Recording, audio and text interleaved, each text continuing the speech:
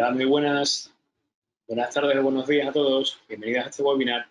Eh, mi nombre ya lo sabéis, mi nombre es Antonio José Segovia y bueno, la idea del, webinar de hoy es hablar un poquito sobre leyes de referencia que tienes que tener en cuenta a nivel sobre internacional sobre la seguridad de la información. Así que vamos a ir rodando poco a poco, vamos a ir viendo eh, la temática que vamos a ir viendo en este webinar.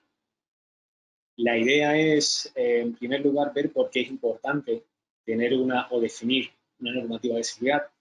Voy a, enseñaros también un listado de normativa que suele ser bastante común en Latinoamérica.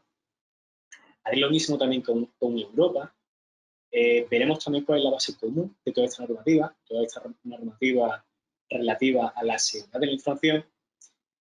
También os, mostraré qué es lo que está haciendo ISO.org, la entidad internacional que se encarga de desarrollar los estándares ISO, qué está haciendo con respecto al, al COVID. Y por último, como comentaba mi compañero, al final tendremos una sesión de unos 10-15 minutos, dependiendo de cómo vayamos de tiempo, para que me hagáis vuestras preguntas y pueda responder a todas las preguntas que tengáis. Así que, bueno, dicho esto, os voy a hablar un poquito también de mí. La intención de hablaros de mí no es, aburrir a nadie, espero no hacerlo, pero bueno, es simplemente para que me, para que me conozcáis un poco. Colaboro con EALDE desde hace un año, un año y medio. También colaboro con otras, con otras universidades en España eh, también soy auditor cualificado por varias entidades certificadoras en, España. He viajado por muchas partes en, el, mundo y he, trabajado con empresas tanto en España como en Estados Unidos, Reino Unido. También he viajado mucho por Latinoamérica, Chile, Perú, Costa Rica, Guatemala. Y bueno, la verdad es que em, en 10 años que llevo trabajando solamente en el sector de los estándares ISO, creo que eh, después de todos estos viajes que, he hecho en estos años a lo, largo, del mundo, creo que tengo un bagaje internacional interesante. Y la idea de hoy, independientemente del, topic, del, tema central del webinar, es compartir con vosotros un poco mi experiencia con vosotros para que os pueda ayudar a mejorar o a conocer a los nuevos. o ese siempre es mi objetivo personal. Así que, bueno, dicho esto, vamos a ir viendo cosas interesantes. Lo primero que quería hablar con vosotros es por qué es importante tener una normativa relativa a seguridad de la información. Bueno, pues es importante básicamente porque hay que establecer una regla, hay que, hay que establecer a nivel eh, de gobierno, a nivel de cada país, hay que establecer una normativa que ponga pues unas reglas con respecto a qué se puede hacer o qué no se puede hacer con la, con la, con la información, con los sistemas de información o con la información de las personas.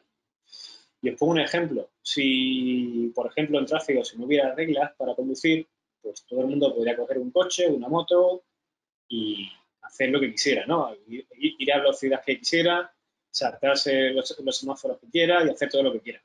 Y la idea es, pues, tener unas reglas que sean comunes para que todo el mundo sepa perfectamente qué se puede hacer y qué no se puede hacer. todos los países tienen leyes que mm, tienen como objetivo proteger la información, ya sea tanto digital como en, papel. Hay países que, por ejemplo, establecen que la información en papel tiene que estar guardada durante un tiempo, dos, tres años, cinco años, dependiendo del país en el que os encontréis, pues hay países donde hay una ley que exige que la información tiene que ser protegida y tiene que mantenerse durante un tiempo concreto. También hay países, que son la mayoría, que establecen um, leyes con respecto al tratamiento de los datos personales. Y ahora tenemos un, claro ejemplo que es el RGPD, el Reglamento General de Protección de Datos Personales del Parlamento de Europa. Igualmente, en todos los países, además de todos los países de Europa, pues también cada país en Latinoamérica, me consta, que también tiene una regulación, una ley muy similar, el RGPD, que tenemos en Europa, con el objetivo de ah, proteger los datos personales de las personas. También hay leyes que tratan de proteger a los ciudadanos en el ciberespacio, en Internet. Y ahora es esto con la pandemia ha sido muy común recibir ataques eh, por correo electrónico, realmente, con el objetivo de sustraer información, de sustraer información o de incluso robarte dinero. Eh, aquí también os puedo poner un ejemplo porque en una pandemia, hace poco, yo he sido uno de tantos que han recibido un correo electrónico que les han exigido a que le manden dinero a un ciberdelincuente porque de lo contrario, si no le mandaban 2.000 dólares, si no recuerdo mal, pues iba a publicar fotos mías y no sé qué y no sé cuánto, porque por lo visto, según él, había capturado a través de la, de la cámara de mi portátil, había, capturado información mía para publicarla por ahí. Pero eso era mentira porque yo la cámara la tengo deshabitada del portátil, lo cual pues eso era mentira y están intentando, igual que a mí, pues a mucha gente intentando de, de estafar. Entonces, en el caso de España, ese tipo de hechos delictivos um, están amparados dentro del Código Penal. Es decir, ese tipo de acciones pueden conllevar a años de prisión. Eso ya son cosas más serias.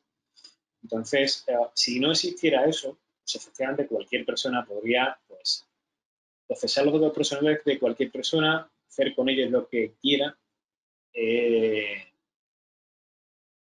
mm, robar a través de Internet, estafar a la gente a través de Internet, e incluso con las leyes ya veis que ocurre.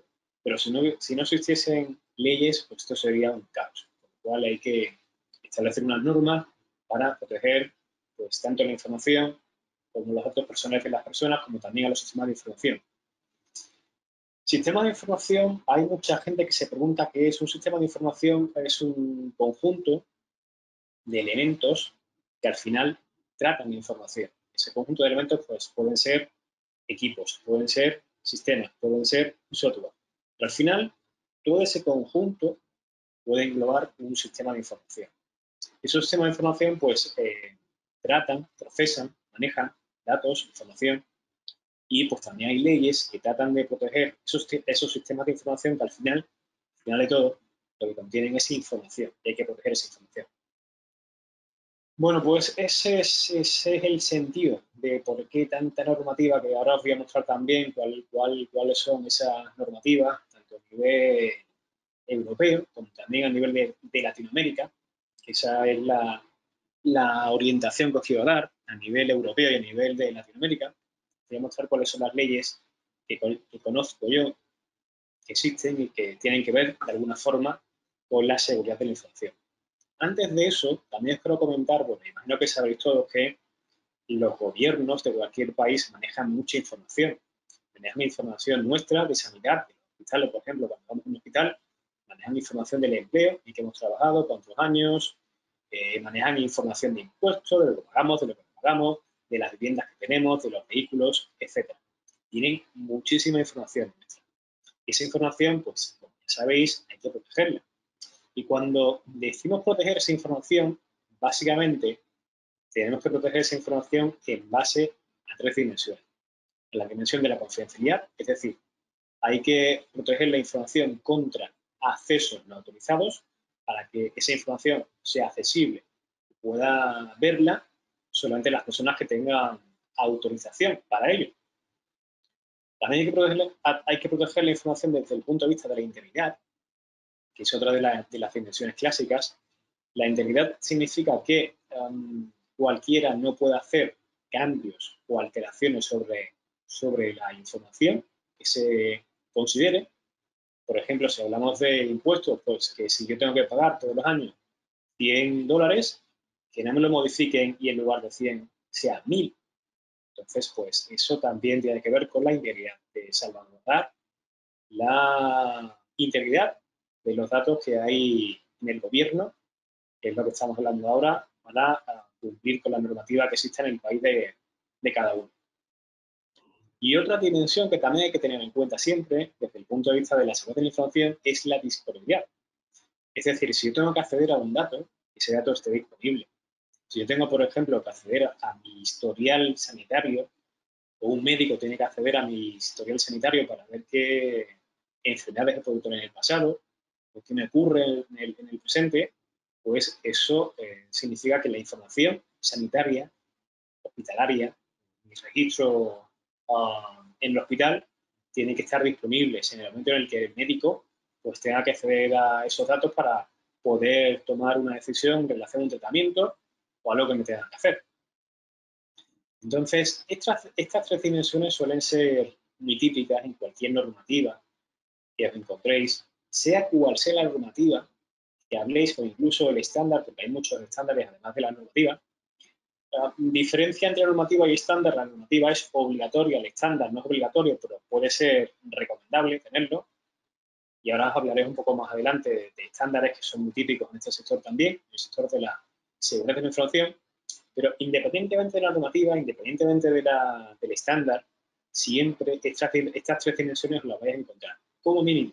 Porque hay también cierta, cierta normativa que, además de estas, estas tres dimensiones, añaden otras dimensiones, como por ejemplo la trazabilidad, la toxicidad, el no repudio, pero estas tres dimensiones las vais a encontrar de forma global, comúnmente en toda la normativa y en todos los estándares que encontréis que tengan que ver con la seguridad de la información. Por lo tanto, es importante que, conozcáis estas, tres dimensiones y que sepáis lo que, lo que significa. Bueno, pues ahora sí vamos a entrar a hablar un poquito sobre la normativa en Latinoamérica. Aquí he puesto um, simplemente un listado de los países que conozco más directamente en los que me consta que, hay cierta normativa con respecto a la seguridad de la información. Me falta un país que tengo que incluir para el siguiente webinar, que es Ecuador, porque en Ecuador también hay una normativa ahora que es, realmente es una normativa que se está desarrollando ahora, no está todavía eh, completamente desarrollada, pero hay una normativa en Ecuador que es muy similar a la ISO 27, también es muy, muy similar a una normativa que, que, tenemos en España, que al final es muy similar a la ISO 27001. Quiero destacar de esta lista también la resolución ministerial que veis de, Perú, que en esa resolución ministerial básicamente lo que se está haciendo referencia es a una norma técnica peruana, una NTP, que esa norma técnica peruana es básicamente una traducción de la ISO 27001. La ISO 27001, ahora un poquito más adelante, en otra diapositiva, os explicaré qué, es o qué, engloba esa ISO 27001. Pero básicamente, para que os quedéis ahora con la, con la idea, la ISO 27001 es un estándar internacional, no es una normativa, es un estándar que um, está relacionado con la seguridad de la información. Lo que pasa es que Perú lo que ha hecho es que ha desarrollado una, norma técnica peruana, es decir, ha desarrollado, ha, ha traducido el estándar ISO al al lenguaje local en Perú y ha exigido a sus administraciones públicas a que implementen esa norma técnica peruana, que al final, como os digo, es una ISO 27000. En otros países, um, pues eh, no se hace exactamente lo mismo que en Perú. En Perú, la verdad es que pues, en ese sentido están un poco más avanzados. Pero en otros países también sí es verdad que recomiendan buenas prácticas establecen también cierto, cierta normativa, como por ejemplo en el caso de Argentina, ahí también tienen mucha normativa relativa a ciberseguridad. Y, en lo que sí coincide en todos los países latinoamericanos es en, lo relativo a la protección de datos personales.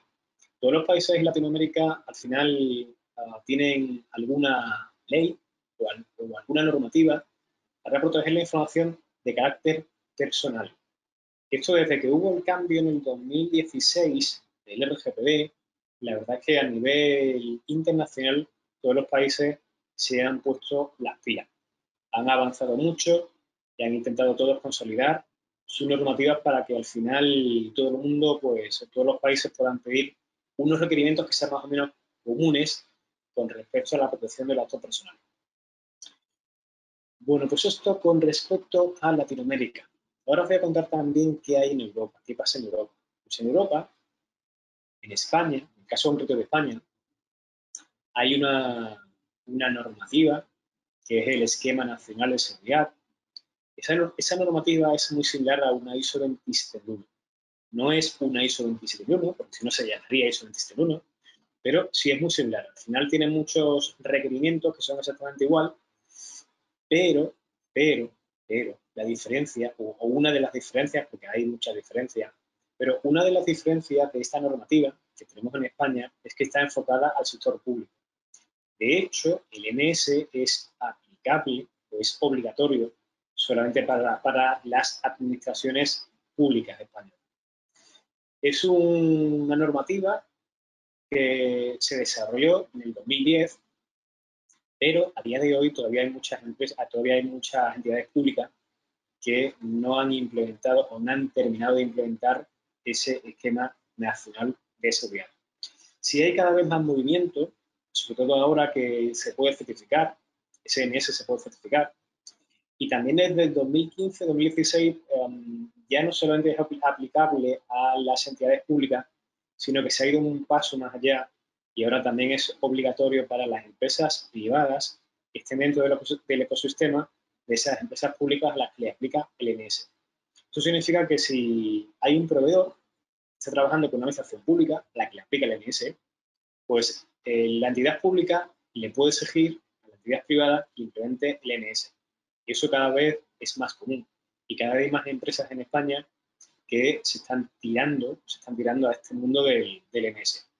Esto lo comento porque seguramente en Latinoamérica va a ocurrir lo mismo. Seguramente va a haber muchos países que ahora que están en ese proceso de implementar o desarrollar una normativa muy similar a la ISO 27 y que es aplicable a las entidades públicas, pues el siguiente paso seguramente va a ser que también sea aplicable a las entidades privadas que estén dentro de ese terreno, dentro de ese ecosistema de, de esa regulación del país que corresponda que tenga que ver con la seguridad de la información. Hay otros países también en Europa, España no es el único, por supuesto, hay otros países como por ejemplo Alemania. Alemania tiene sus estándares PSI, al final pues, es una serie de estándares, está el 100, el, 100 1, el 100-2, el 100-3. Esos estándares al final también son muy, muy similares a ISO 27001. De hecho, en algunos casos me atrevería, me atrevería a decir que es copiar y pegar de algunas partes de la ISO 27001. Al final, mm, no se trata de reinventar la rueda. Es decir, si ya tenemos una normativa internacional, en este caso la ISO 27, que como decía antes, ahora en una diapositiva un poco más adelante va a hablar de ese estándar, si al final ya se han inventado la rueda, ¿para qué, para qué inventarlo otra vez? Es decir, si hay ya una normativa, si hay ya un estándar, mejor dicho, que tenga que ver con la protección de la información, pues eh, generalmente todos los países cuando tienen que desarrollar una normativa local se van a basar en ese estándar internacional, porque eso es lo que están haciendo ya. En Reino Unido hay también una, una NIS, eh, que es la Network Information System Regulation. Esa NIS realmente también es aplicable a otros países europeos y esa normativa o esa regulación tiene que ver o se centra sobre todo en la red y los sistemas de información de ciertas empresas que, de gran tamaño, que manejan ciertos datos. Pero también estamos hablando de una regulación que tiene que ver con la seguridad de la información, con los sistemas de información, os comentaba antes, con los sistemas o con los sistemas de información, que os comentaba antes. También hay otra, otra ley a nivel europeo, que es una ley relacionada con la ciberseguridad. Lo que pasa es que actualmente esa ley tiene que ver sobre todo con productos digitales, con servicios y procesos no tiene que ver de forma global, digamos, con la información, sino que tiene que ver con la seguridad de eh, ciertos productos, ciertos servicios y ciertos procesos que tienen que ver con la seguridad. Ahí sí es cierto que no se trata de una gestión de la seguridad de la información, sino que va más al nivel de producto, de un cacharro, para hablar un poco mal y pronto, que quieras comprar y que cumpla con unos requerimientos básicos de seguridad. Y luego, pues también en Europa tenemos el GDPR, el RGPD, que es lo que ya os comentaba antes, que esto todos los países en el mundo, diría yo, pues tienen al final para proteger los datos de carácter personal. En España, el RGPD se traduce a la, a la LOPDGD, la Ley Orgánica de Protección de Datos Personales y Garantía de Derechos Digitales, y um, cada país europeo pues tiene que de alguna forma basarse en el RGPD para tener su propia regulación o su propia ley relativa a protección de datos personales. Bien, pues esto con respecto, esto con respecto a normativa, a normativa europea. Aquí también me gustaría añadir algunos estándares que no son obligatorios, es decir, que no obliga a ningún país en su, en su ámbito a que lo implementen, las empresas, ya sean públicas o privadas, pero también son estándares que ah, están ahí, están ahí en el sector, hay muchas empresas interesadas en esos estándares y pueden ser también de, puede ser también de utilidad que los conozcáis, porque siempre en este mundo hay que tener claro cuál es, cuál es la normativa legal, pero bueno, también puede ser interesante que sepáis también estándares que pueden servir para poder aplicar en, ciertos, en ciertas empresas, en ciertos entornos. Un ejemplo es el PCI, PCI DSS, que es un estándar internacional que tiene que ver con la protección de los datos de las tarjetas de crédito. Si tu empresa maneja datos de tarjetas de crédito, muy, muy posiblemente te va a aplicar PCI DSS. Pero aquí también os digo que PCI DSS también es, un estándar que es muy similar, es muy, muy similar a la ISO 27001. Sí, es verdad que tiene también cosas distintas, tiene cosas específicas de protección de, de datos de tarjetas de crédito, pero al final hay muchos puntos que son comunes con, por ejemplo, la ISO 27001. Muchos puntos que, tienen en común con la ISO 27001, que ahora un poco más adelante os hablaré también de ese estándar. Y otro estándar que se está manejando mucho ahora también últimamente es ISAX. ISAX es un estándar desarrollado por una asociación alemana eh, agrupada por entidades o empresas del sector automotriz. Ahí están pues las grandes, está eh, BMW, está Mercedes, está Audi, está SEAT, ahí están todas las empresas del sector automotriz importantes y han montado una asociación que es NX y a través de esa asociación han desarrollado un estándar que es ISAX. Ese estándar aplica pues, a todas las empresas que estén en, ese ecosistema del sector automotriz y pues al final ese TISAX también es muy, muy similar a la ISO 27001. De hecho, hay un apartado, hay una parte de los controles que es eh, copiar y pegar controles de la ISO 27001 directamente, es copiar y pegar. Hay otra parte que también, como todos los estándares, es específica de ese sector, pero una gran parte importante de ese estándar es también pues, copiar y pegar, copiar y pegar, digamos, de la ISO 27001. Bueno, pues es el momento de hablaros ahora de esa base común, que es precisamente la ISO 27001. Este estándar, este estándar, antes, es un estándar, no es una normativa, con lo cual no es obligatorio. Y este estándar tiene como objetivo básicamente eh, proteger la información. Para proteger esa información, el core, el punto más importante en la ISO 27001 es la gestión de riesgos. Gestionar riesgos significa que tenemos que identificar cuáles son los riesgos que hay eh, en nuestro negocio, riesgos de seguridad de la información, es decir, riesgos que tengan que o, que afecten a la información. En base a esos riesgos, tengo que establecer un tratamiento. Y ese tratamiento al final se va a traducir en que tengo, que, tengo que implementar unos controles. La ISO 27001 tiene un anexo, anexo A, que incluye 114 controles de seguridad esos 114 controles, la idea es que vosotros podáis seleccionar aquellos que eh, os puedan servir para tratar los riesgos que, hayáis identificado con respecto a la información. Y esto, este es el, concepto que tenéis que tener claro con respecto a la ISO 27001. Yo me he encontrado empresas, muchas empresas que piensan que la ISO 27001 es un estándar tecnológico. No lo es, es un estándar que tiene que ver con la protección de la información. Significa que cualquier empresa que maneja información puede eh, manejar o puede implementar este estándar. Hay empresas que piensan que esto solamente es para empresas tecnológicas. Y es así. vuelvo a repetir, este estándar es un estándar de gestionar la seguridad de la información y como cualquier empresa de cualquier sector, de cualquier parte del mundo, tiene información tiene que gestionar la información, pues podría aplicar este estándar.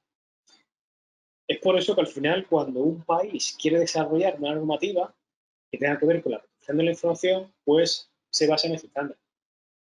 Porque es un estándar global, es un estándar eh, con un reconocimiento internacional para proteger la información, con lo cual pues, se basa en él para poder desarrollar su propia normativa.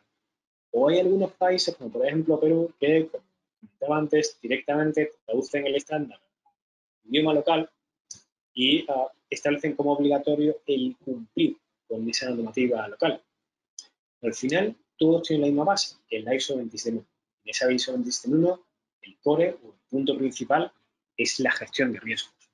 En esa gestión de riesgos, pues ya sabéis que hay que identificar cuáles son, bueno, por una parte, hay que identificar, que suele ser lo habitual, hay que identificar cuáles son los activos, si nos basamos en activos, porque nos podríamos pasar en procesos, por ejemplo, pero si nos basamos en activos, pues habrá que identificar cuáles son los riesgos de seguridad de la información que afectan a esos activos, hacer un tratamiento e implementar los, controles que corresponden.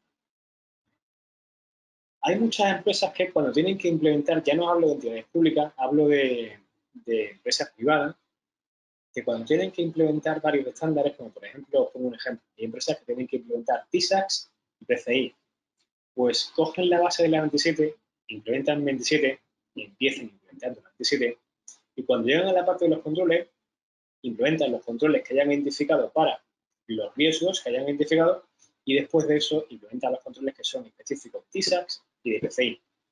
Y ese puede ser el enfoque. Es decir, siempre que tengáis que implementar una normativa en vuestro país uh, o un estándar que os aplique, TISAX, PCI, podéis implementar la base de la 27 los controles que identifiquéis para la 27 y una vez que hayáis hecho eso, una vez que tengáis la base de la 27, después el siguiente paso puede ser implementar la normativa o el estándar específico que os corresponda, ya sea un estándar, un estándar internacional, ya sea una normativa local que os aplique. Pero en cualquier caso, siempre ese puede ser el enfoque. Primero empezar con la 27 y después ya, pues, eh, trabajar con la la normativa específica que os aplique en el sector en el que os encontráis. Bien, pues quiero también, quiero también comentaros que ISO.org, en su página oficial, en esa dirección que veis en pantalla, con esto de la pandemia, pues ha decidido, ha decidido publicar ciertos estándares. ¿Por qué ha decidido publicar estos estándares? Básicamente porque ISO.org considera que puede ayudar en el mundo con, la situación en la que nos encontramos todos, con el COVID-19, piensa que puede ayudarnos a todos con, con, estos estándares. En el caso que veis en pantalla, la ISO 22301 es un estándar internacional también. Tiene que ver con la gestión de la continuidad del negocio. Ahora supongo que muchos habréis eh, sufrido, entre comillas, el tema de la pandemia y eso ha implicado que muchos de vosotros os hayáis tenido que ir a trabajar a casa, a hacer teletrabajo. En muchos casos eso habrá implicado una activación de un plan de continuidad de negocio. Es decir, estáis trabajando en la empresa, pero hay una ley en el país o hay un, un legislador o hay un gobernante o hay lo que sea que dice que no se puede trabajar en la oficina, hay que irse a casa pues si hay que trabajar desde casa, habrá que tener un plan alternativo, un plan de continuidad para seguir la actividad, cada uno desde su casa. Bien, pues eso es básicamente lo que establece la ISO 27101. Es un estándar que nos va a ayudar a desarrollar nuestro propio plan de continuidad de negocio. Eh, realmente no es una guía de buenas prácticas, es, una, es un estándar que define una serie de requerimientos, por lo tanto se puede certificar, es un estándar certificable pero de alguna forma nos puede ayudar a establecer unas pautas, unos pasos para um, gestionar la continuidad del negocio. Ese estándar, antes de la pandemia, pues es un estándar que podéis descargaros de ISO.org y tenía un coste de, pues, si no recuerdo mal, de 200 dólares o ciento y pico dólares. Ahora, como os digo, lo podéis descargar, podéis aprovechar y descargarlo desde la dirección que veis en pantalla. Pasa algo similar con la ISO 31000. Lo que pasa es que la ISO 32000 no es un, estándar que se pueda certificar, es más bien una guía de buenas prácticas.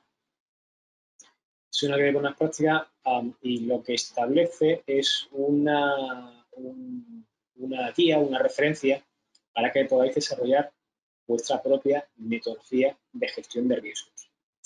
¿Para qué es importante una gestión de riesgos? Pues para la ISO 27. La ISO 27001 ya sabéis que su core, su núcleo principal es la gestión de riesgos. Pues la ISO 31000 nos puede ayudar a desarrollar nuestra propia metodología para gestionar riesgos. Si es verdad que ese estándar, la ISO 32000, está enfocado para riesgos de cualquier tipo, no solamente riesgos de seguridad de información, pueden ser riesgos ambientales, riesgos financieros o riesgos de cualquier tipo. Pero bueno, os puede servir como referencia. Hay otro estándar también que sí está más relacionado con la ISO, o sea, con la seguridad de la información y que también es una guía de buenas prácticas, que es la ISO 27005. De hecho, la guía, o sea, la ISO 27005, la ISO 27005 tiene la misma estructura que la ISO 31000. Lo que pasa es que la ISO 27005 está enfocada a seguridad de la información. Es decir, también es una metodología de, de gestión de riesgos, pero enfocada a la seguridad de la información. Lo que pasa es que ese estándar pues, no está publicado en ISO.org. El estándar que sí podéis eh, acceder, que sí podéis acceder, en ISO.org, es la, es la ISO 31000. Pero bueno, creo que también puede ser interesante que lo tengáis ahí en el radar, tengáis ahí en vuestro conocimiento.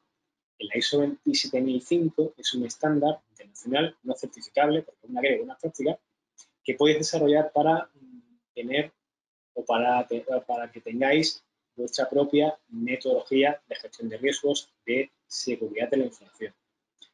Fijaros si es importante el tema de la gestión de riesgos en la ISO 27001, que uno, uno de sus requerimientos, uno de los requerimientos es que no solamente se gestione riesgos, sino que la metodología para gestionar riesgos esté documentada.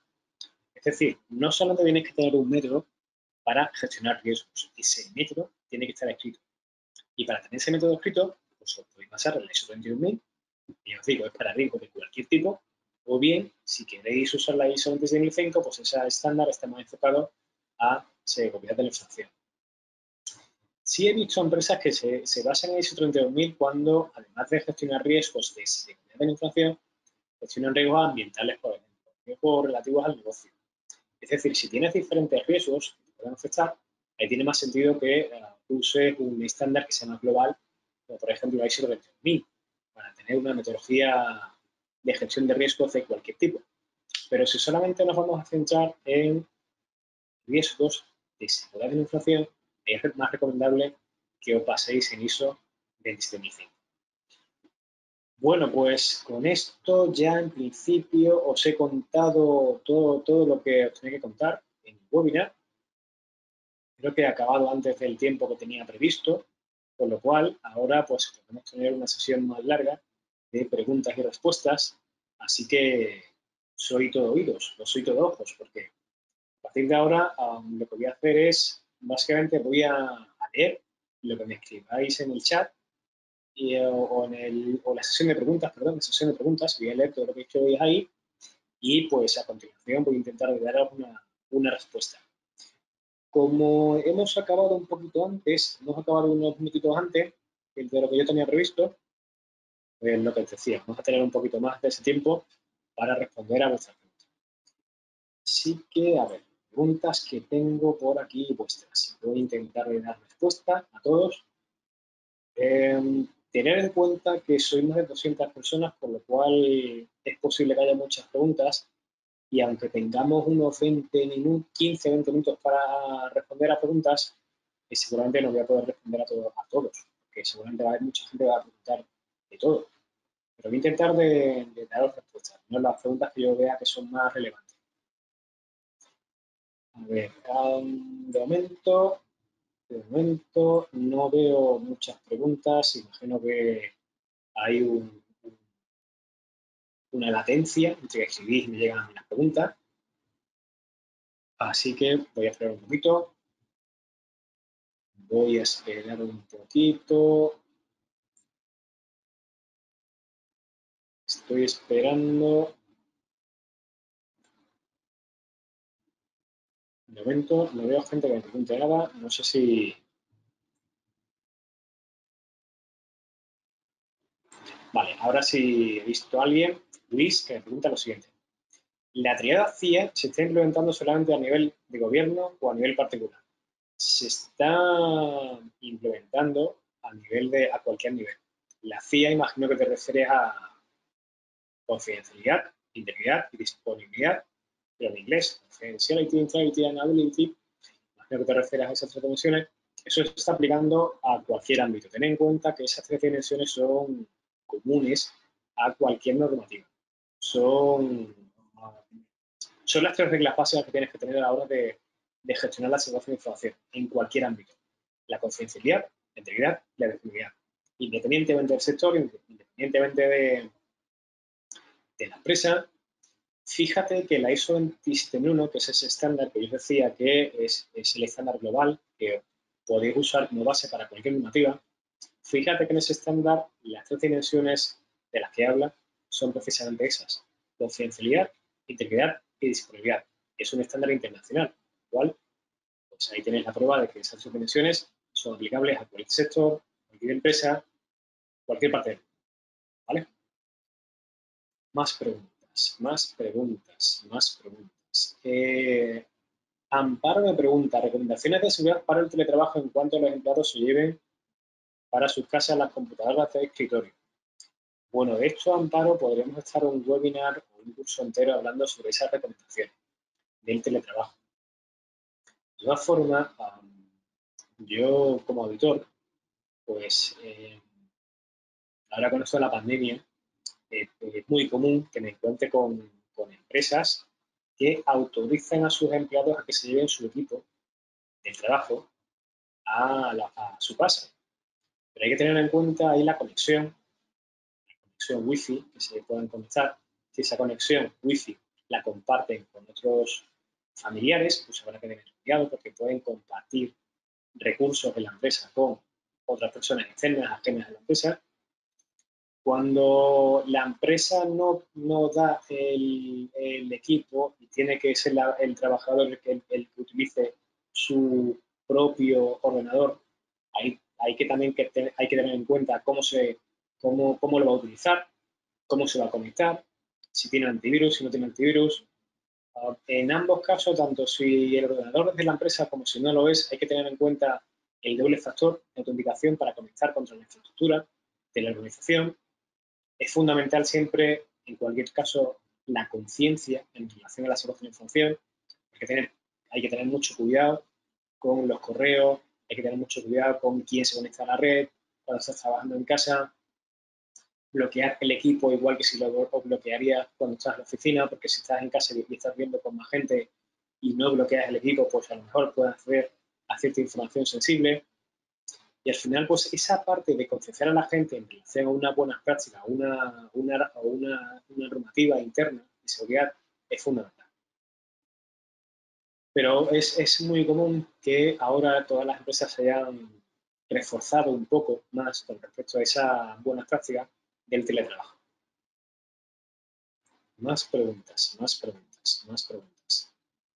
Eh, Nilsson me pregunta, ¿Qué estándar podrías recomendar para empezar a desarrollar políticas de seguridad de la información para la aplicación de una sala de guerra o sala situacional? Pues, eh, mi recomendación siempre es ISO 27001. No he hablado de otro estándar que es la ISO 27002. La ISO 27002 tiene mucha relación con la ISO 27001 porque eh, básicamente la ISO 27001 tiene un anexo, anexo A, como comentaba antes, que tiene 114 controles. 114 controles de seguridad de la información.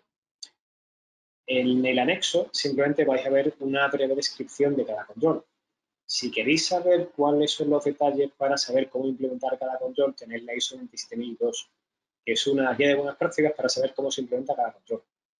Entonces, de, esos 114 controles estoy seguro, estoy seguro, Nilsson, estoy seguro que alguno te puede servir para ese entorno que comentas porque al final son controles de, ámbito rango internacional que estoy seguro que alguno te va a servir para ese entorno, esa situación en la que vas a tener que manejar también información muy sensible, en la que te va a ayudar pues también a manejar riesgos eso pues es, en todo ese entorno es fundamental. Eh, Marvin me pregunta también, eh, para las empresas inmobiliarias, ¿cuáles serían las ISO recomendables? Marvin, ISO 27001, por supuesto. Porque fíjate que las empresas inmobiliarias también manejan información. Tenemos información de clientes, información que, hablamos de información de datos personales, um, y esa información, pues, si quieres dar ciertas garantías a los clientes de que la manejas de forma segura, gestionando los riesgos que haya eh, eh, con respecto a su información, pues una ISO 27001 puede ser un estándar bastante recomendable si lo, si lo miramos desde el punto de vista de la seguridad de la información. Que ya os digo, la seguridad de la información aplica a cualquier sector porque todas las empresas del mundo manejan datos, manejan información. Y ahí pues encajaría perfectamente una ISO 27000. Más preguntas, más preguntas, más preguntas. José Carlos me pregunta, eh, ¿la ISO 27001 establece una metodología para evaluar los riesgos? Eh, José Carlos, te cuento, a ver, la ISO 27001 eh, te indica que tienes que hacer una gestión de riesgos, pero cómo la tienes que hacer, eso no te lo dice el estándar. ¿Qué significa esto? Esto significa que el estándar te dice que lo tienes que hacer, pero tú puedes hacerlo como tú quieras. Tú puedes seleccionar la metodología que consideres más relevante o consideres más útil para tu entorno. Hay muchas metodologías en el sector, hay muchas metodologías por ahí. Una muy, reconocida a nivel internacional, que la vais a encontrar en español, es Magritte, es pública además, porque se ha desarrollado en España lo que pasa es que Magritte, eh, para algunas personas, pueden, pensar que es un poco compleja. Magritte, además, está centrada en el sector público español, pero igualmente te, te puedes basar en esa metodología para desarrollar tu propia metodología. O también puedes basarte en la ISO 31000, que ahora ya la tienes, como comentaba en la episodio anterior, lo tienes acceso público ISO.org, o podéis irte también a la ISO, podéis, ir, podéis irte, podéis utilizar también la ISO 27005, que está enfocada a riesgos de seguridad de la inflación, para desarrollar tu propia metodología. Pero puedes desarrollar el método que tú quieras, siempre que cumpla con los requerimientos mínimos que te, que define el estándar, la ISO 27001, pero puedes definir la metodología que tú quieras para gestionar riesgos de seguridad de la inflación. Perdón. Más preguntas. Más preguntas. Más preguntas. Jorge me pregunta lo siguiente. Actualmente hay venta de datos personales por parte de empresas en las cuales realizan algunos trámites. ¿Cómo mejorar la producción de datos personales que te solicitan para cualquier trámite? Pues ahí, Jorge, claramente lo que tienes que cumplir es la ley. Porque todos los, todos los países tienen legislación, todos los países tienen una, ley, una legislación para proteger los datos personales. sí es cierto que esas leyes algunas veces pueden ser un poco confusas. Para esto hay entidades certificadoras, como por ejemplo Burovitas, o creo que también lo hace. Hay muchas entidades certificadoras que lo que hacen es desarrollar un esquema que está basado en el RGPD y em, ese esquema se puede certificar. Esto significa que si tienes un, un estándar, un esquema que te lo certifica una entidad certificadora, pues de alguna forma estás garantizando que estás cumpliendo con esa normativa. Pero también os comento que hay un estándar que también es muy reciente, de, eso, de hecho lo publicaron en septiembre, octubre del año pasado, 2019, que es la ISO 27701. Es un estándar básicamente internacional que se puede certificar y que fusiona la ISO 27001 con el RGPD. Es decir, establece una serie de requerimientos para proteger la información y para ah, cumplir con lo relativo al RGPD. Entonces, pues ese estándar también puede servir, te puede ayudar a, mejorar no solamente la protección de datos personales, sino también a mejorar la protección de la información como tal. Más preguntas, más preguntas, más preguntas. Eh, Michelle me pregunta, ¿quién es el ente u organismo que se encarga de certificar a los profesionales? Eh, bueno, eso hay, muchos, muchas entidades. Eh, por ejemplo, las entidades certificadoras tienen pues, unos programas unos cursos para que una vez realizados esos cursos y después de un examen puedas cualificarte. En el sector de las ISO hay un, programa muy conocido que es el IRCA.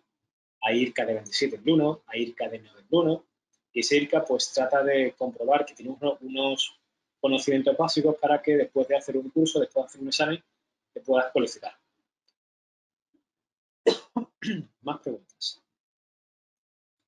Lucila me pregunta, ¿cuál es la finalidad esencial de la ISO 22301? Eh, Lucila, la finalidad esencial de ese estándar es gestionar la continuidad del negocio. Por ejemplo, si tienes una, empresa, y esa empresa pues está trabajando eh, en una oficina y hay un terremoto, pues estaremos todos de acuerdo en que si hay un terremoto y se destruye la oficina, no puedes trabajar desde la oficina. Con lo cual tienes que tener un plan alternativo para que la, la actividad del negocio no se interrumpa y pueda seguir funcionando el negocio. A lo mejor desde cada uno desde su casa o desde otra oficina en otro lugar, en otra, ciudad.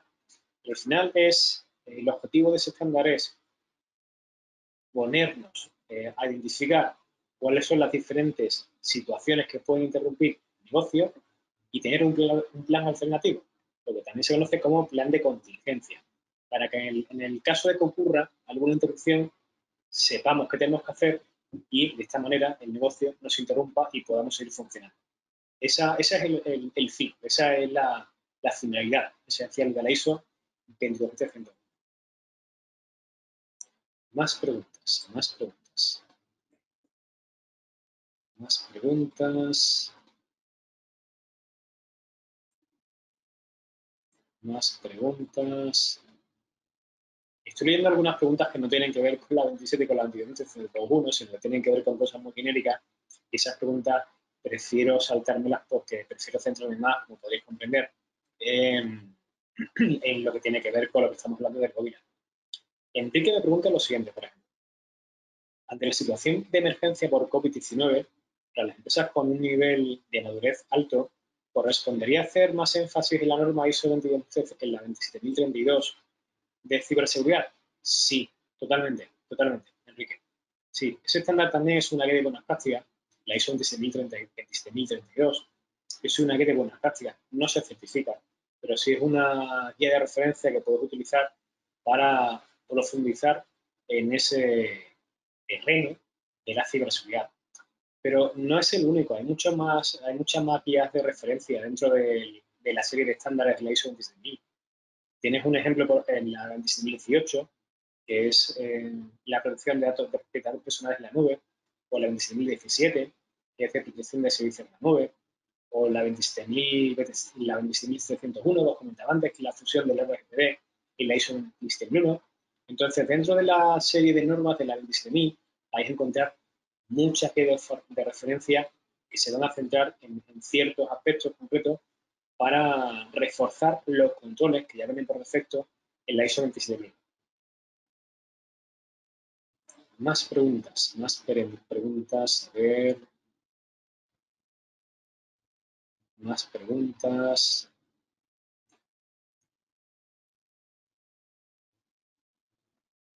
Eh, José Carlos me pregunta, ¿pero es necesario evaluar?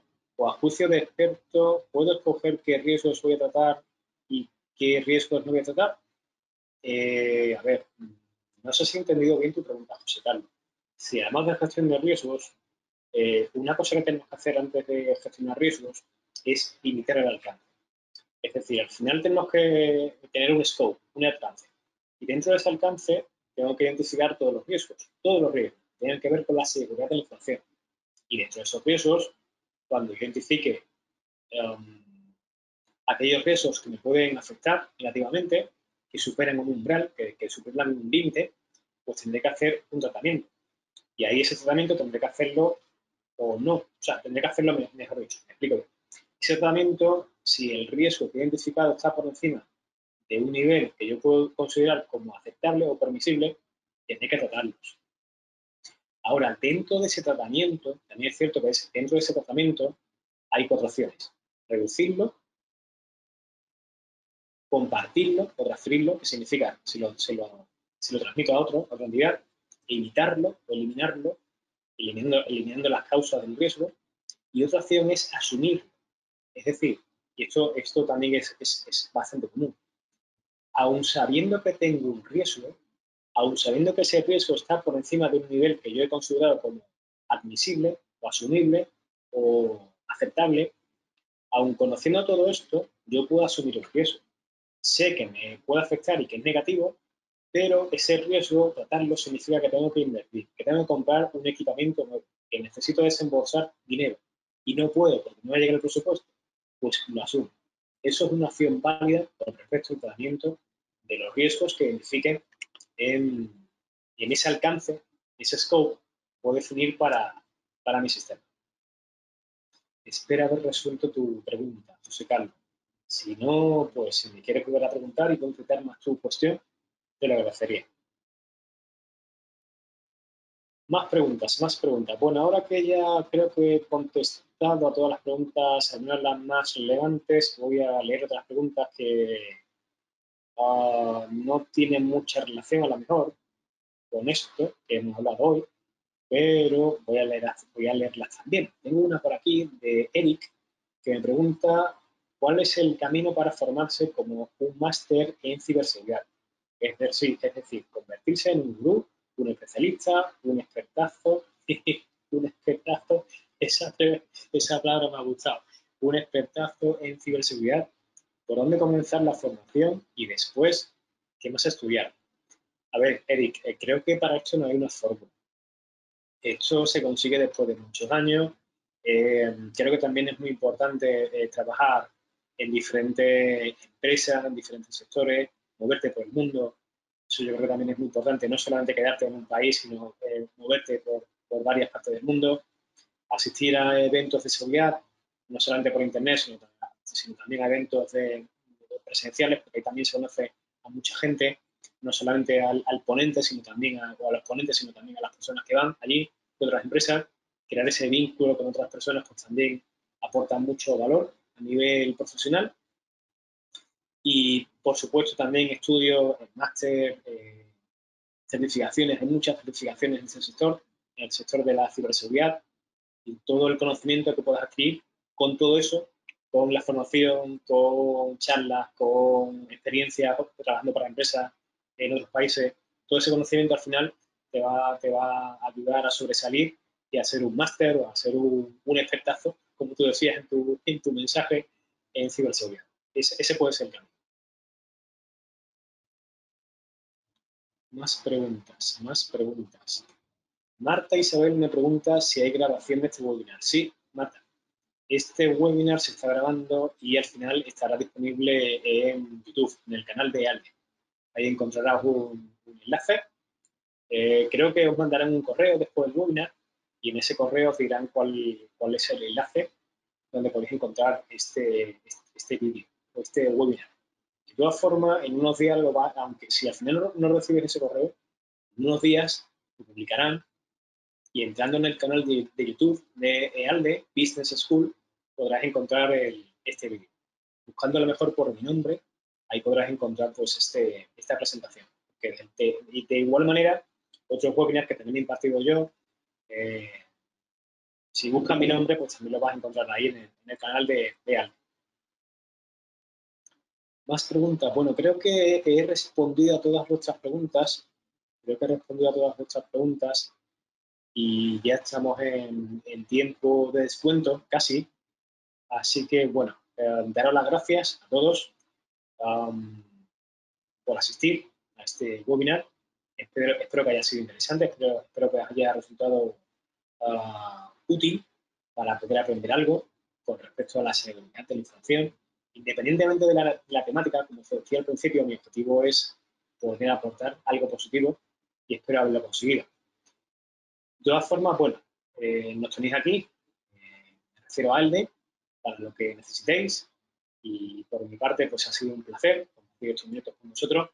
Y os espero en el siguiente webinar porque estos webinars se, se, volverán, se volverán a repetir, volveremos a impartir otro más en el futuro lo que no sé todavía la fecha, no sé todavía la fecha exacta, seguramente ya será después del verano, después de, las vacaciones de agosto, pero en septiembre, octubre volveremos otra vez a impartir una webinar y espero que igualmente, igual que este, pues espero que hayan sido, que, resulten útiles y que, que, os ayuden a aprender, que ese siempre, ese siempre es el objetivo que tenemos. Así que, bueno, muchas gracias a todos y espero que volvamos a vernos pronto. Gracias a todos, cuidaros y que tengáis un buen verano. Ciao, ciao. Bye bye.